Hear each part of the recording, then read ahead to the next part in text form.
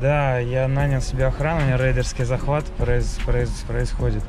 И я решил себе нанять качков. Genetic Lab Nutrition Guardian. Называется у меня такое охранное предприятие у Руслана. Вот, это вот... Смотрите, вот Вадима яхты здесь стоят, видите? Яхта у него здесь. Вадим спрашивает, проголосовал ли я за царя. А, естественно, да. Вот слева будет- На, пообщайся с ребятами. Привет, ребята, это Вадим. Я к нему в гости приехал. Да, я нанял себе охрану, у меня рейдерский захват произ- произ- происходит. И я решил себе нанять качков. С Gen- Genetic Lab Nutrition Guardian. Называется у меня такое охранное предприятие у Руслана. И он сейчас будет, собственно, об- наблюдать мой объект. Если понравится, говорит, сам захватит. Не захватит, просто будет защищать. Налево. Да я помочь приехал, послушать историю. Вот, потому что... Да, видите, он какой мажорка, у него тачка. Все на вас, качки. Да у него тут, э, у него три яхты здесь стоит, смотрите. Че, куда, прямо? Да, да, А что да. захуя валяется? Да, Надо как- у вас? хуй знает, что такое. Вот, это вот. Смотрите, вот Вадима яхты здесь стоят, видите? Яхта у него здесь. Вот, ладно. А расскажи, что дело? Партнеры бывшие, да, твои? Да. Не знаю. Вот видите, на- это себе намутил на протеинах Audi Q8. Вот, а я-то в свое время бесплатно продавал. Все. Поэтому, поэтому у тебя тоже Audi, да? Дешевле банки пива, все. Вот, променяли вот Dodge Lab на Genetic Nutrition. Сгорел дочь лап. Да. Направо, лево? Направо, да, видишь, я запизделся. Блогерство вспоминаю. Вспоминаешь? Вот Сейчас э, Виталий, э, Руслан будет нам что-то рассказывать, как вообще защищаться от всей этой хуйни. Направо. Слушай, да у меня-то метод простой, блядь. Но это не направо, ты налево поехал. Не, а, не сюда? Нет, там был, назад тебе надо ехать. Ну, блин, А, при- вот прикольно. Там самое прикольное вот эта штука. Да, да. Тут хоп-хоп. Мягкая, прикольно. Ну, ВАК, он рулит. Но ты сейчас прямо Да, поехал. Ваг, ты видел, что Volkswagen нарисовали логотип пидорский этот? Ты сейчас снова не то поехал. В смысле, опять, опять туда Я поехал? говорил назад, да.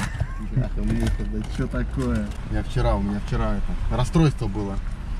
От логотипов этих компаний BMW нарисовали Какие? значок пидорский. Ну, типа поддержку этого ЛГБТ-сообщества. Да, скинь, посмотреть. Это, что я- это, это вообще дичь, короче. Там тебя Fiat, BMW. У тебя есть время это смотреть? Слушай, а мне, меня отметил знакомый, как бы я глянул прям. Оно само, короче. Беда тебя. бедой, да. я как бы не против, я не считаю, просто что должны быть какие-то доп. привилегии у них. Это просто люди.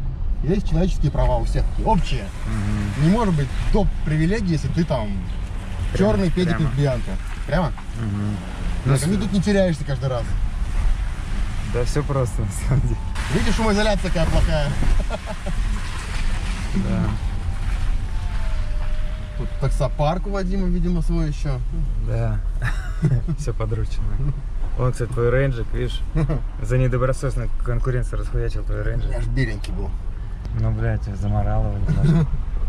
Ну его нормально убрали. Да, вообще жестко. по жести. Ну, можешь вот тут где-то уже вставать сюда или туда к нам. Давай туда к вам. Давай, давай рядышком встанем, поставим тачечки. Кстати, а седьмая очень кайфовая тачка. Мне ее давали. Дико мягкая. А? Вообще кайфовая. Вот я бы в, таком вот... э, Это же Е-класс, да, получается, седьмая, правильно? Наверное, но она Ну такой Е плюс, наверное. Короче. Короче, смотрите, у нас почти одного цвета машинки. Оп. Не, у меня пленка. Да, светлее. У меня пленочка. Я хотел машину цвета Феррари. Вот Вадим спрашивает, проголосовал ли я за царя. А, естественно, да. Нет, нет, ребят, я... а, на самом деле, ну, поправки-то какие, они все в законах есть уже. Это все, короче, дичь. И уже Конституция выпускается с новыми всеми правками. Потому что голосование левое, а то, что там квартиры разыгрывают у айфона, это вообще максимальный позор. Лучше бы ничего не разыгрывали, один фиг подтусуют, правильно все? Ну зачем такое палево делать? Ну, Вообще это неправильно. для визуальной легитимности. всё. Ну, ну, вот видишь, для визуальной легитимности можно было сделать голосование, но без подарков, без этого клоунады. Это лишнее. А так, я, конечно, я бы иначе голосовал. Я бы голосовал вообще за смену Конституции полную. Потому что Конституция у нас, конечно, жесть. Но не Конституцию надо менять, наверное, а правительство. Потому что, как бы, она есть, она не исполняется. Ну, будет новая. Каждое правительство трактует Конституцию под себя. Да. Поэтому... И, кстати, смотрю, там, листаю уже знакомых, Все голосовали против, кто ходили, но почему-то у нас 8%, 80% за. Да, у меня тоже. Вот такие, да. Здравствуйте, здравствуйте. Как ты? Я, слушай, да лучше всех. Мои приветствия. Вот так. Мотобрат? Картинка еще красивая. Ой, Мы закончили, вот я потом что-нибудь еще вам наболтаю, а то короткий выпуск получится. Ничего секретного, Вадим. Всем Ну, пока. Я всем скоро пока. МСМК возьму. Что ты возьмешь скоро? МСМК пожиму. А, скоро? Опять крутить начнем? Нет, Нет? уже не могу. Почему? Ну, вредно. Вредно говорят. Вредно. Врут. Я- Врут я проверял, нормально. Сам ты хрустишь? Да. У меня все. Куда мы идем дальше? К ним, что, блин, не выйти, что не заехать какие-то лабиринты. Да, непонятно ничего. Я картинки буду показывать.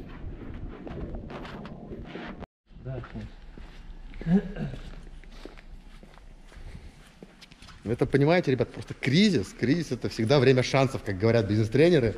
Вот партнеру Вадима тоже осозна- осознали, что настал момент, когда нужно брать свое, чужое, особенно. А мы заберем все свое, чего бы оно не было. Вот, и поэтому решили, ребята, хулиганить. Так, ребята, я снимаю за рулем, но на меня не ругаться. Вот включен автопилот. В общем, машина будет, если что, сама поворачивать обратно, куда ей там надо, поэтому можно не переживать. Вот видите, поворот у нас, а мы будем ехать.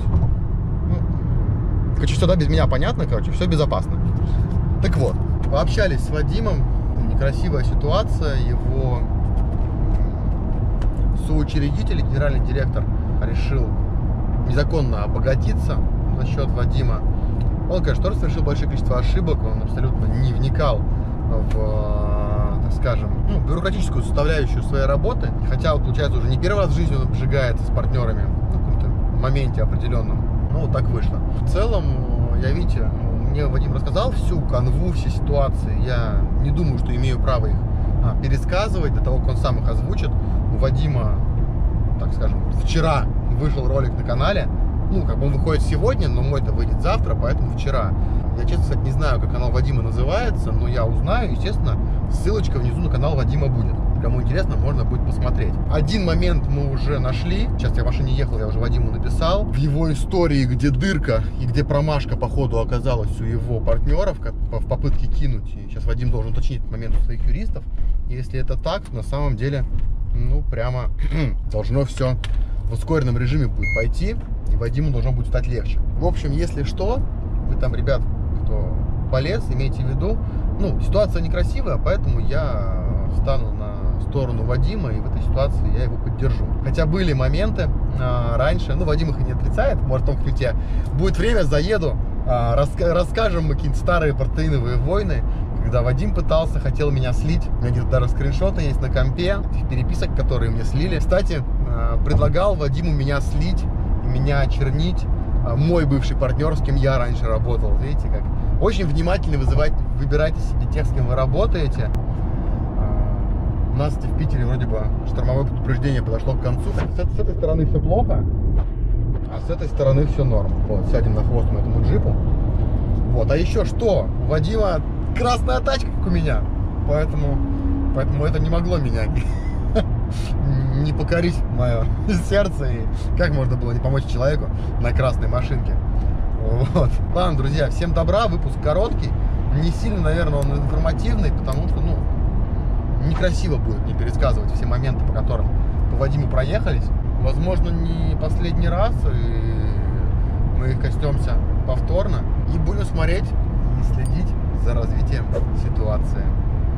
Всем пока, ставьте там плюсики, лайки, пишите свои комментарии, что думаете по этому поводу, что Вадим и дочь Иванова пытаются отжать его компанию. Приехал в аптеку, у меня что-то отец порезал палец сильно. Он сейчас в гостях у меня, надо ему что-то купить нужно что-то. Воздух, конечно, такие дожди прошли, прям ливневые. Деревья вырывало, это жалко, но зато воздух сейчас просто какой-то космический. Конечно, Как же хорошо. Как хорошо летом везде, наверное. Нашел в аптеку. Прошел мимо сначала. Хотя по ней не скажешь, что она работает, потому что не горит свет. Не горит свет. Походу надо будет сейчас ехать искать дальше. Ну что за 1 июля? Бляха-муха. Сегодня же праздник. Сегодня день обнуления. Кстати, я вас поздравляю с обнулением и новым историческим событием а, в Российской Федерации. Такого еще никогда не было. И вот опять. В общем, ладно. Пить аптечку. Бля, шавухой пахнет вообще огненно. Тысячу лет не ел. Я вот что подумал. А, ведь прошла информация, что 6 июля открывают в Питере залы. Залы. 4 квадратных метра минимум на одного человека должно быть. Соблюдение норм, дезинфек- дезинфекция и так далее. В бассейнах 10 метров на, на человека. Все залы, которые не находятся в торговых комплексах. Только отдельно стоящие залы, в которых, ко всему прочему, еще и отдельный вход от других помещений. Вот такие клубы смогут начать функционировать. Постепенно все оживает, и дай бог не объявят вторую волну, потому что как вторую волну переживут люди, я, честно сказать, не знаю. Ну, я говорю про нормальных, обычных людей, а не тех, кто на всей этой политической суматохе зарабатывает, скорее всего, просто космические, колоссальные деньги. Ну, как зачастую, конечно, и бывает, и для чего все это, и, наверное, создавалось и делалось. Вот еще одна аптечка, кстати. Посмотрим, тут какие-то машины запаркованы. А, ну нет, сейчас давайте, давайте я вам... Важный момент, да, ведь в залы, залы это опасно. Залы это опасно, залы это страшно. Ведь в залах люди могут заболеть, наверное, от того, что тренируются. А знаете, что полезно? Что полезно, что очень нужно населению, что нельзя было закрывать. И, кстати, я знаю, как в России даже революцию создать. Революцию сделать очень просто. Вот смотрите, идем, там аптечка. И яркие вывески, яркие, красивые. Не знаю, сколько видно издалека. Ну, сейчас уже дойдем. Так вот, тут должна быть аптека. Вот написано. И еще одно заведение. Эти заведения работали весь карантин. Они очень важны для общества. Это самое главное. Смотрите. Да, ребятка, это пенное, это пивасик.